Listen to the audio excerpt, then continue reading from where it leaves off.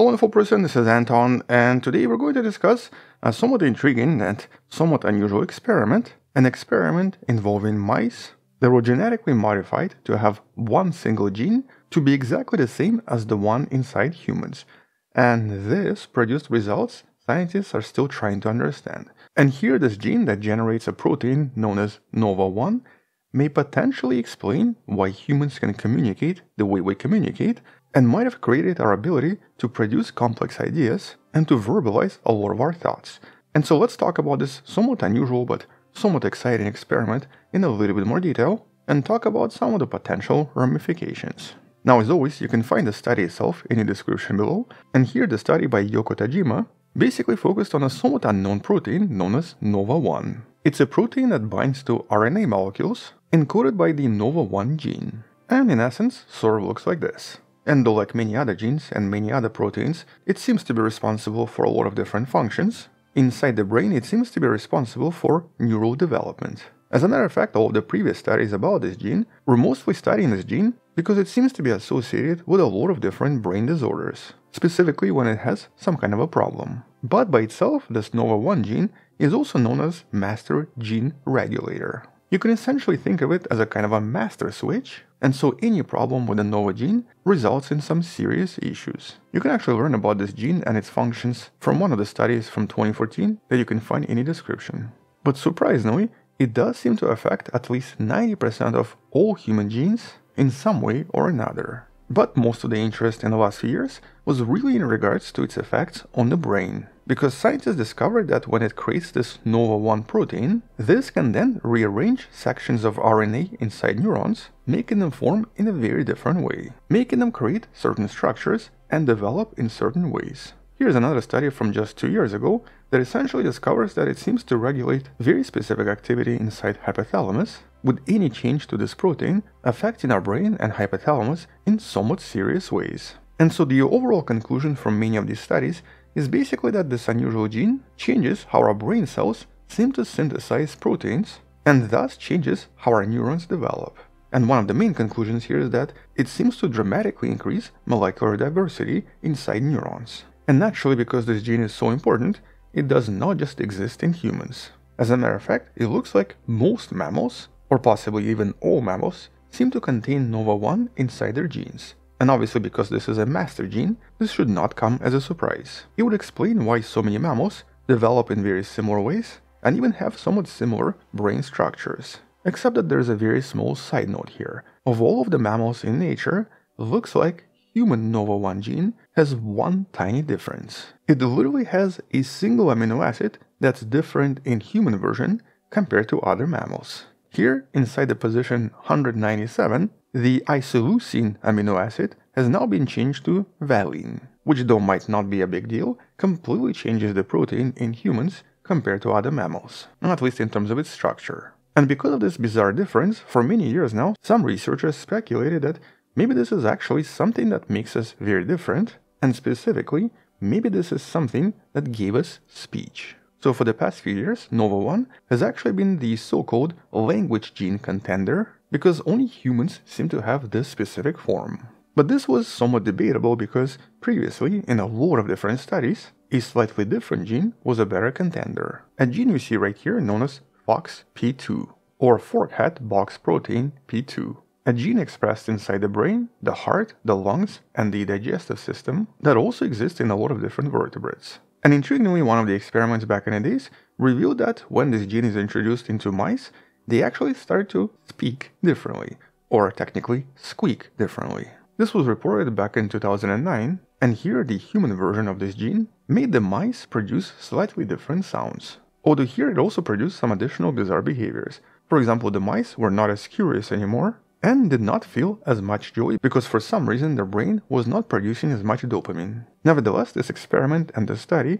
was actually exciting just because this was achieved and because it was now possible to test other genes just to see if we can discover this language gene and communication gene that in essence makes us human. Although when it comes to this FOXP2 gene, based on the analysis of Neanderthals and Denisovans, or essentially our cousins from back in the days, they also seem to have this gene as well, and was very similar to the one in humans, which back in the days implied that maybe Neanderthals could also speak like humans. And one of the reasons scientists actually thought that FOXP2 was a language gene was because of the disorders associated with the problems inside this gene. Anyone that has a mutation in this gene very often has a lot of speech defects and is unable to move their lips and their mouth in order to produce any speech. Likewise, compared to other mammals, the human FOXP2 gene is just a little bit different, but is exactly the same as the one inside Neanderthals. And so this was thought to be the origin of human language. But naturally, this was just the beginning, and obviously scientists wanted to keep looking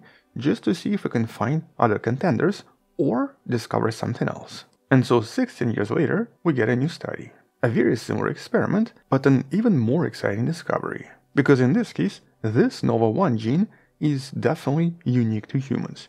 Neanderthals and Denisovans did not have the same gene either, and it seems to be one of the few genes that pretty much all humans contain.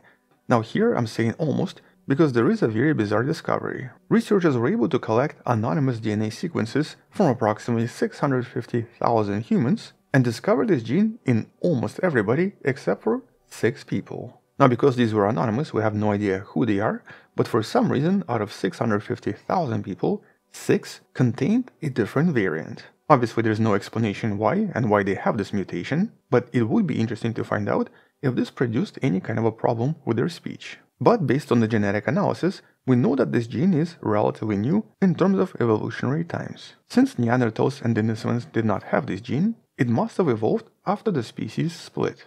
And based on a thorough genetic analysis, scientists believe that it must have formed only a few hundred thousand years ago, possibly even less. And so because of the novelty of this gene, it was obviously somewhat intriguing to discover what effect this has on humans and what effect it might have on these mice. And that's because mice, despite containing a similar gene, do not contain the same gene. This is really uniquely human. And to test this, scientists created genetic mutations that made these genes exactly the same as human genes, and then conducted two separate experiments, one involving pups and one involving grown-up mice. And even as pups, these mice were already doing something different.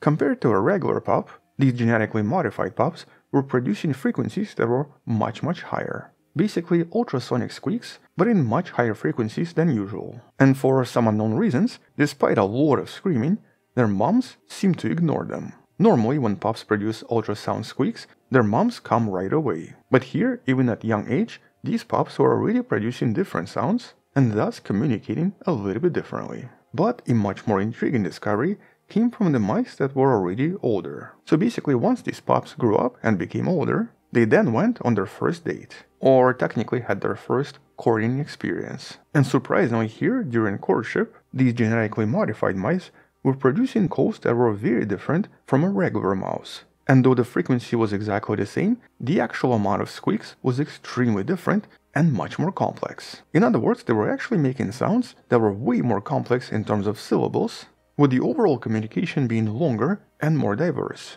In other words, I guess in human terms, their pickup lines were very elaborate. Hold on, don't go! I've scared you. I've said too much. I'm hopeless and awkward and desperate for love.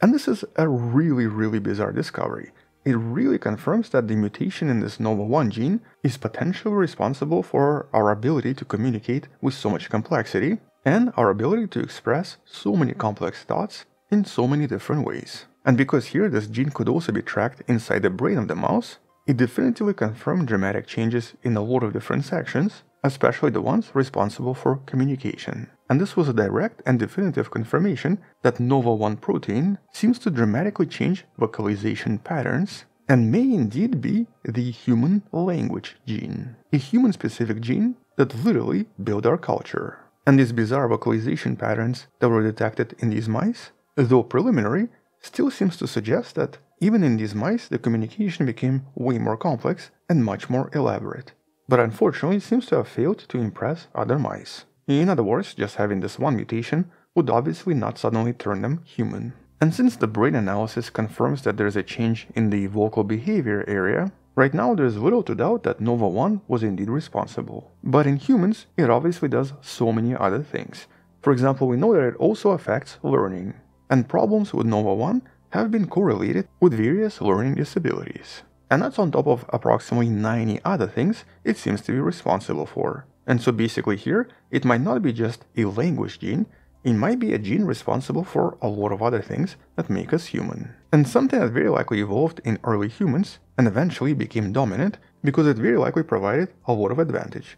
Advantage in communication, but also possibly things like learning and even understanding the environment. But because this is just the first of such studies, we still have no idea exactly what it does or what other effects it might have inside these mice that were now basically humanized, as the researchers refer to it in this study. And so I'm actually kind of excited to see other studies of these humanized mice, because here this discovery might finally show us the actual genetic mutations that transformed earlier hominids into humans that we are today. And so this is something we'll come back and talk more about in some of the future studies.